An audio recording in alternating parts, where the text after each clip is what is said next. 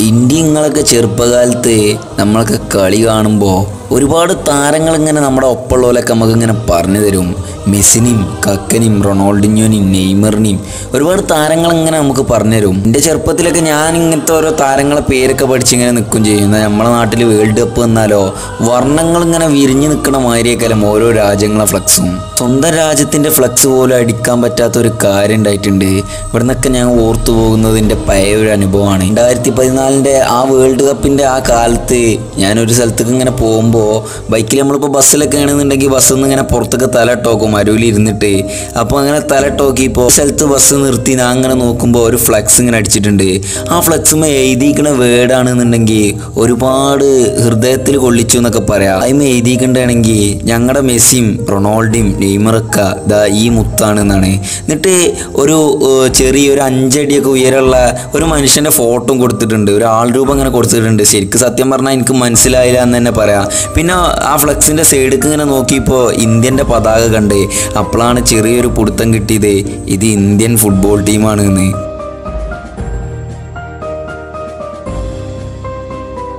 പക്ഷെ ആ ഒരു കാലത്തൊക്കെ ഇന്ത്യയുടെ ഫുട്ബോൾ ടീം എന്ന് പറഞ്ഞാൽ ചിരിക്കാൻ വേണ്ടി ഉണ്ടാക്കിയ ഒരു ടീം എന്നൊക്കെയാണ് പറയൽ.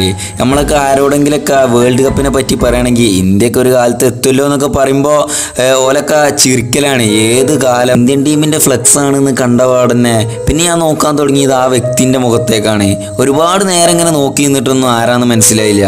അന്ന് എന്ന് പറയുമ്പോൾ ഞാനൊന്നും ഫോൺ ഉപയോഗിച്ചിട്ടേ ഇല്ല. എന്റെ കയ്യിലാണെങ്കിൽ ഒരു ഫോൺ എന്ന് പറഞ്ഞൊരു സാധനം പോലും ഇല്ല. നമുക്കൊക്കെ എന്നുള്ളത് ടി വിയിൽ മെസ്സിനെയും റൊണാൾഡോനെയൊക്കെ കണ്ട് വളർന്ന് അങ്ങനത്തെ ഒരു കാലാണ്. ആ ഒരു കാലത്ത് ഇങ്ങനെ ഒരു ഫ്ലക്സും പൊന്തിച്ച് ഒരു അഞ്ചടി വരെയുള്ള ഒരു ചെറിയൊരു പയ്യൻ ഇങ്ങനെ കണ്ടപ്പോൾ ഒരുപാട് നേരം നോക്കി പോകും. നാട്ടിലെത്തി ഒരുപാട് ആൾക്കാരോട് ചോദിച്ചപ്പോഴാണ് അറിഞ്ഞത് അത് സുനിൽ ഛേത്രി എന്ന് പറഞ്ഞ ഇന്ത്യൻ ടീമിന്റെ ക്യാപ്റ്റൻ ആണെന്ന്. സത്യം പറഞ്ഞാൽ ഇങ്ങനെ ആലോചിച്ച് നോക്കുകയാണ് മെസ്സി റൊണാൾഡോ നെയ്മറൊക്കെ ഈ മുതലാണെന്ന് പറയുമ്പോൾ അത്ര കണ്ട ഇയാൾ. ആരാണ് ഈ വ്യക്തി എന്നൊക്കെ ഇങ്ങനെ ആലോചിച്ച് പോവാണ്. കാരണം കേട്ടറിവ് പോലും ഇല്ല എനിക്ക് സുനിൽ ഛേത്രി എന്ന് പറഞ്ഞ വ്യക്തിനെ പറ്റി. എന്നാൽ ഇന്ന് ലോക ഫുട്ബോളിൽ ഇന്ത്യ എന്ന് പറയുന്ന ഈ രാജ്യത്തിന് ഫുട്ബോളിന് ഒരു ഐക്കണായി മാറിയ ഒരു കളിക്കാരനാണ് അയാൾ. സാക്ഷാൽ ലയണൽ മെസ്സി പോലും തന്റെ രാജ്യത്തിന് വേണ്ടി ഗോൾ സ്കോറിങ്ങിലെ സുനിൽ ഛേത്രി എന്ന് പറയുന്ന വ്യക്തിയുടെ പുറകിലാണ്. ഇപ്പോഴത്തെ തന്റെ രാജ്യത്തിന് വേണ്ടി ആക്റ്റീവായിട്ട് ഗോൾ സ്കോറിങ്ങിൽ നിൽക്കുന്ന സാക്ഷാൽ ക്രിസ്ത്യാനോ റൊണാൾഡോയ്ക്ക് ശേഷം പിന്നെ വരുന്ന ആരാന്ന് വെച്ചാൽ ലയണൽ മെസ്സിയോ നെയ്മറോ ഒന്നും അല്ല പിന്നെ വരുന്ന ഒരു ഇന്ത്യൻ പതാകയാണ്. അവിടെ എത്താനുള്ള ഒരു കാരണക്കാരനുണ്ട്. അതാണ് സുനിൽ ഛേത്രി. ചിലപ്പോൾ ഈ കോപ്പ അമേരിക്ക കഴിഞ്ഞ മെസ്സി ചേത്രിന്റെ ഗോളിനൊക്കെ വെട്ടിച്ച് നിൽക്കുക പക്ഷെ നമ്മളൊക്കെ ആലോചിക്കേണ്ട ഒരു കാര്യമുണ്ട് അർജന്റീന എന്ന് പറയുന്ന ആ വലിയൊരു രാജ്യത്തിന് ഒരുപാട് സൗഹൃദ മത്സരങ്ങളും കോപ്പ അമേരിക്ക വേൾഡ് കപ്പ് പോലത്തെ ടൂർണമെന്റുകളൊക്കെ വരാനുണ്ട്. എന്നാൽ ഇന്ത്യ എന്ന് പറയുന്ന നമ്മുടെ ഈ രാജ്യത്തിന് കിട്ടാവുന്നതിൽ ഒരു കൊല്ലാണെങ്കിൽ ഏറിപ്പോയ നാല് കളി അല്ലെങ്കിൽ അഞ്ച് കളി ഇങ്ങനെയൊക്കെയാണ് കിട്ടുന്നത് ഇതിൽ നിന്നൊക്കെ നമുക്ക് ഒന്ന് ജസ്റ്റ് ഒന്ന് ചിന്തിച്ചു നോക്കിയാൽ തന്നെ മനസ്സിലാവും. സുനിൽ ഛേത്രി എന്ന് പറയുന്ന വ്യക്തി തന്റെ രാജ്യത്തിന് വേണ്ടി എത്രമാത്രം പോരാടുകയാണെന്ന്. കാരണം ഇത്രയും എന്താ പറയുക വർഷത്തിലൊക്കെ രണ്ടും മൂന്നും കളി കിട്ടിയിട്ട് ലോക സ്കോറർമാരിൽ രണ്ടാമത്തെ ആളാവാന്നൊക്കെ പറഞ്ഞാൽ അതൊരു പവർ തന്നെയാണ്. ഒരുപാട് കാലങ്ങളായിട്ട് ഇന്ത്യ എന്ന് പറയുന്ന ഈ രാജ്യം ഫുട്ബോളിൽ തന്നെ മാഞ്ഞു കിടന്നിരുന്ന ഒരു രാജ്യമാണ്. കാരണം നമ്മളെ രാജ്യക്കാർ മൊത്തം ക്രിക്കറ്റിന്റെ പുറകെ പോയി. അതുകൊണ്ട് നമ്മൾ എന്തായി നമ്മൾ മറ്റുള്ള രാജ്യങ്ങളുടെ കൊടിക്ക് പുറകെ നടന്നുകൊണ്ടിരുന്നു. എന്നും ക്രിക്കറ്റിന് പുറകെ പോയിക്കൊണ്ടിരുന്ന ഒരു രാജ്യമായിരുന്നു ഇന്ത്യ എന്ന് പറയുന്നത്. എന്നാൽ ഇന്ന് ഫുട്ബോളിനെ പ്രണയിക്കാനെങ്കിലും കുറച്ച് ആൾക്കാരുണ്ടെങ്കിൽ അല്ലെങ്കിൽ ഞങ്ങളുടെ ടീമാണ് എന്ന് പറയാൻ കുറച്ച് ആളുകൾ ഉണ്ടെങ്കിൽ നമുക്ക് എല്ലാവർക്കും നോക്കാൻ പറ്റുന്ന ഒരു പേരാണ് സാക്ഷാൽ സുനിൽ ഛേത്രി. അതെ ചെറുപ്പത്തിലെ ക്രിക്കറ്റ് മാത്രം പ്രോത്സാഹിപ്പിച്ചിരുന്ന ഒരു ജനതക്കിടയിൽ നിന്നും ബാറ്റ് വാങ്ങാൻ പൈസ ഇല്ല എന്ന് പറഞ്ഞിട്ട് നൂറ്റി മുപ്പത്തിരണ്ട് കോടിയിലധികം വരുന്ന ഇന്ത്യ എന്ന് പറയുന്ന ഈ രാജ്യത്ത് ഫുട്ബോളിനെ പ്രണയിച്ച് ഫുട്ബോളിനെ പ്രണയിക്കുന്ന ഓരോ വ്യക്തിക്കും എന്നെങ്കിലൊക്കെ ഇന്ത്യ വേൾഡ് കപ്പിൽ എത്തുന്നുള്ളൊരു മോഹം അതല്ലെങ്കിൽ ഒരു സ്വപ്നം കാണിച്ചു തന്ന ആളാണ് നമ്മുടെ ക്യാപ്റ്റൻ ഇതൊക്കെ തന്നെ മതിയിലടോ ഈ അഞ്ചടി പൊക്കുള്ള ഈ ഒരു കുറിഞ്ഞ മനുഷ്യൻ ആരാണെന്ന് മനസ്സിലാക്കി തരാനേ.